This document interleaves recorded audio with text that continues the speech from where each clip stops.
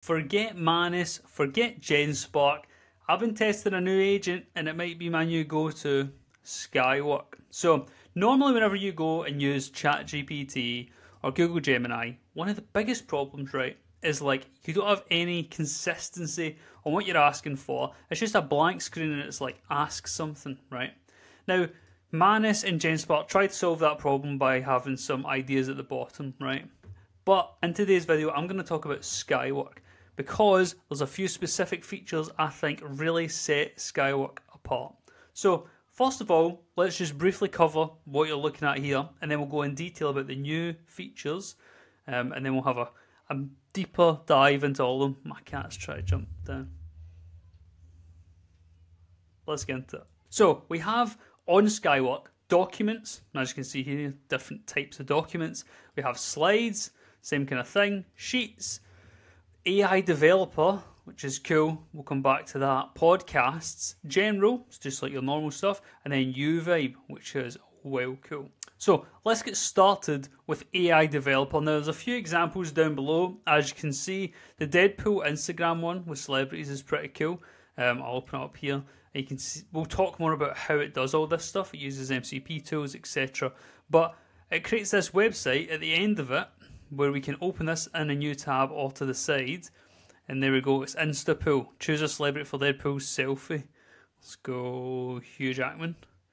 And boom, picture of Hugh Jackman and Deadpool, a little caption and even some fake comments, which is pretty cool.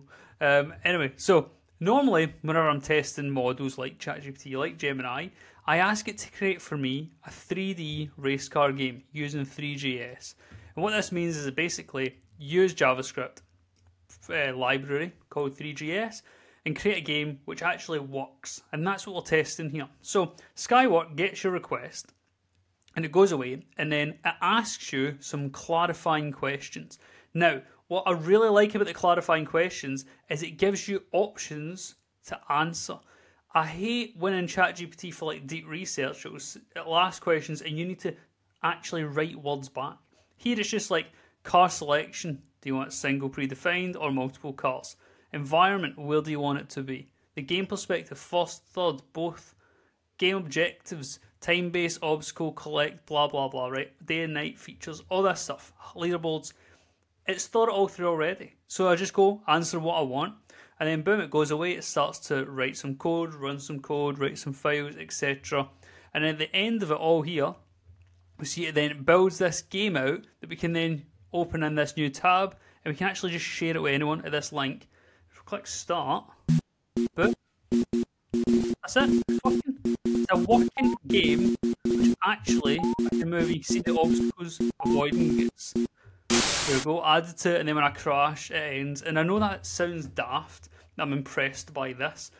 Like, it's not, you know, GTA 6, but the uh, lack of ability of these LLMs normally to actually create games that work from the get go.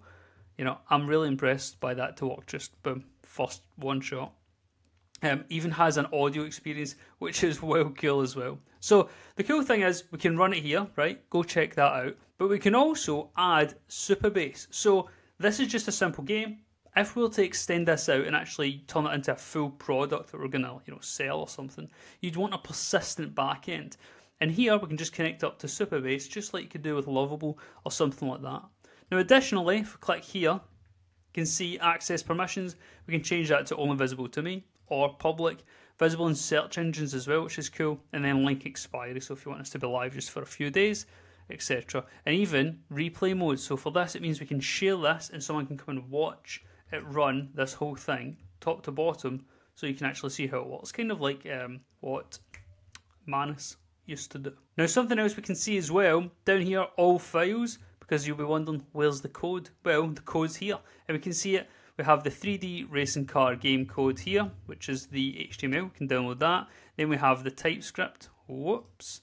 We have the TypeScript here, Sound Manager, and then the car game itself. You can see when I click that open there, you can actually see it on the side, so we have the code just like any other AI here, which is great and a preview as well, which has the full working game. And from here, we can even click up this and we can download that. So there we go, we've downloaded this, this file as well.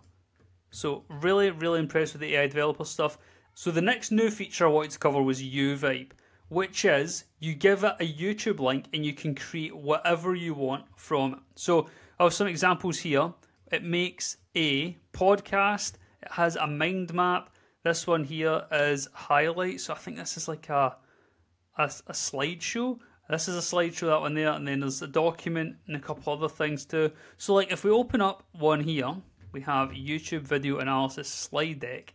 Now at the top here, it gives this YouTube link. See here, which is made by Google 2025. And then it pastes it in and says, analyze the main content and key data and generate a 10 page slide deck. And then it goes through here, creates a slides outline, as you can see here. Um, and then your slide presentation is ready. Boom, just like that. And now you have this 10 page. I mean, look how slick that looks. It is well impressive. Like the the level that it's operating at is so cool. And the fact that you can have this degree of consistency as well with things like slides and stuff because if we look here you can see you can select a specific deck and get it to populate based on that. But the fact you can do it from a YouTube video is brilliant. Because if you know the channel I started out on the channel learning all about data Azure etc teaching people. So you know you create these slideshows for your own learning Additionally, I tried this out myself, so take out the main principles from this video and display it as a CEO summary style. And the video was a masterclass on plant-based nutrition by Rich Roll. So it goes away, and I actually created this here, this document, which was the executive's guide to plant-based nutrition. I, I, I was so impressed, and it covers every single main point: gene expression, telomere length, autophagy and cellular repair gut microbiome, all of this stuff that he talks about inside the podcast. And then to go even one step further forward here, we can get it to check the references. So this podcast is just a guy talking, right? Or well, masterclass with different doctors and stuff. But you need to then make sure that these references are the legit, and so you can run that by them and actually get it to go and see who are they citing, etc. And you can even then go and get it to verify it itself. And so yeah, we have I'm so impressed by this here. And the ability to then go and make mind maps and stuff is going to be really handy feature, especially for educators on the platform. So a couple of other cool features here is that we actually have deep research. So when I had shown you that it was asking me clarifying questions, so let me see here. When I was trying to create the game and it was saying, you know, what about this, what about that, you can get that for your actual prompting by selecting deep mode. So if you go for fast mode, it will just come back with a fast reply. But if you do deep mode, it will look at more sources, it will ask for more information from you to ensure that it's getting a deeper research, right? So instead of looking at, you know, five papers, it looks like 20, which is really good for documents, just like when you're creating these ones here, because you want it to be as deep as possible, the knowledge base that it has. So let's give it a try. Let's just ask something like, you know, give me a history of AI CEO summary, including what to expect in the next five years. For this, we're going to go deep mode. As you can see, it is enabled here. And now it's going to come back and it's going to ask me some clarifying questions and all of this. Now, something you may have seen as we're doing this is files. You can add in files. So if we open up the side here, we can actually add in files locally. So you can upload files, upload folders. You can upload from your knowledge base. So when you've added files, you can get it from there. Links and text. So you can just paste in chunks of text and keep it in your local knowledge base.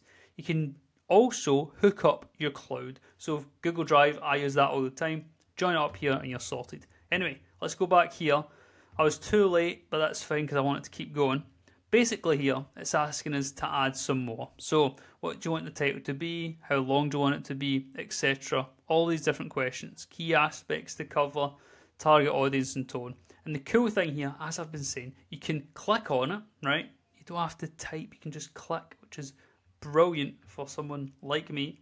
But also, if you're not sure, you can just let AI plan it using this select button. It says selecting others. So here, now it goes to create this to-do list, right? So information gathering, analysis, future predictions and outlook, and then writing a comprehensive AI CEO history report. Crazy. Anyway, it's going to go away now and it's going to gather what it needs to know. And down here, you can actually see where it is on its to do list, which is pretty cool, and how long it's taken. So, what we're going to do is we're going to let that go and do its thing, and we'll come back and have a look when it's done. And there we go, we can see Skyworks computer. So, it's using the MCP tool to search the web to actually find the information that it's after. So, list of Anthropic executives, blah, blah, blah. There we go, already it's searching for more sources. I mean, it's just going to go through a bunch of sources to get as much information as possible. And look, I have tried a bunch of tools, as you can see on the channel, but I really do think Skywork stands out compared to the others. I feel like, honestly, the the biggest thing for me is the feel. How does it feel? Does it feel natural? Manus always felt like it looked cool, but it actually worked kind of weird and it was hard to see. And the way that the pricing structure is is a bit dodgy.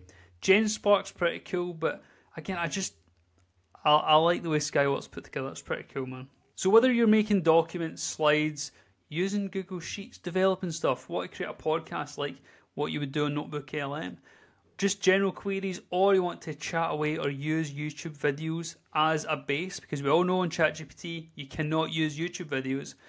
Skywork is the place for you. Go and check it out. It will be the first link in the description below. Stop getting stuck trying to get consistency, not knowing where to start. Check out Skywork. If you like the video, like the video, comment what do you think. Are you going to be using Skywork? And uh, make sure to subscribe for upcoming videos. So if you want to see what Skywork came away with creating here, check it out. The link will be in the description below to check out the replay. Hope you enjoyed the video. See you later.